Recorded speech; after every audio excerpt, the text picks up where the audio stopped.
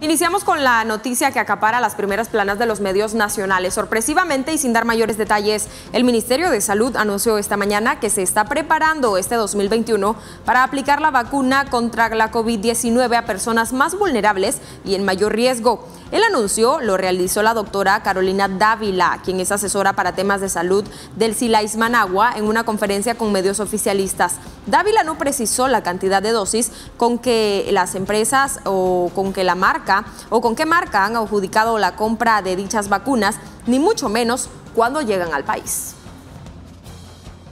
¿verdad? Nuestro gobierno para la aplicación de vacunas contra COVID para las poblaciones priorizada, aquellos grupos que tengan mayores riesgos y vamos a iniciar durante este 2021 la aplicación de las vacunas contra el COVID.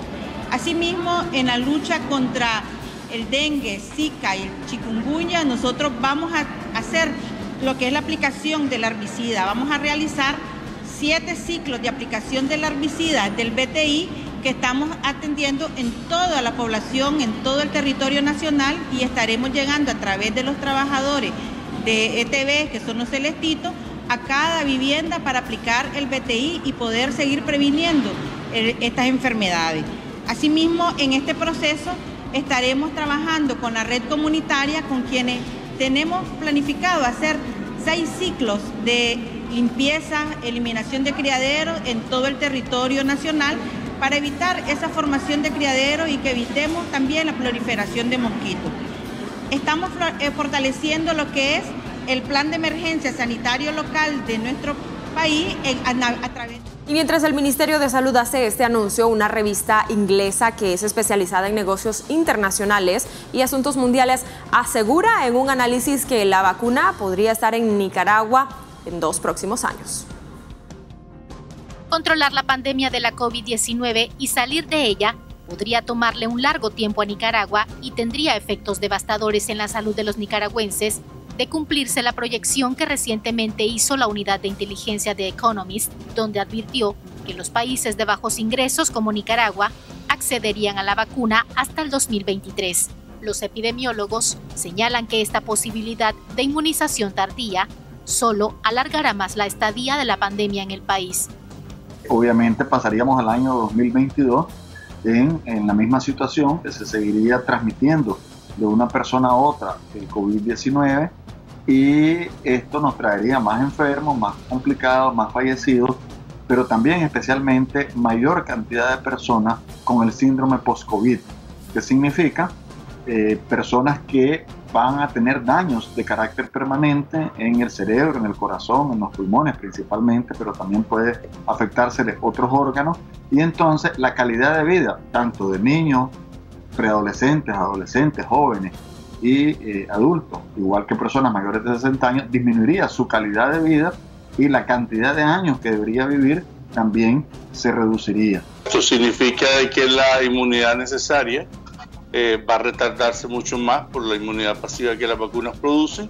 y el riesgo de que la enfermedad activa va a producir unas tasas de mortalidad y una tasa de hospitalizaciones más altas es lo que se va a ver en Nicaragua. Entonces, que el impacto del COVID que se da por las medidas preventivas, de todas maneras el gobierno de Nicaragua no ha mostrado ningún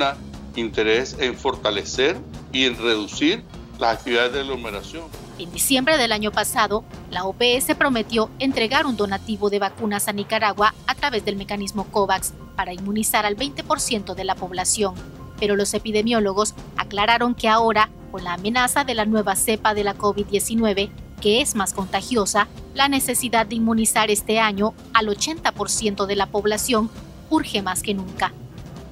En Nicaragua estamos en la segunda ola, ya que todavía no sabemos cómo se va a, desempeñar, pero ya obviamente con las cifras oficiales del Ministerio de Salud ya se demostró que de seis personas que fallecían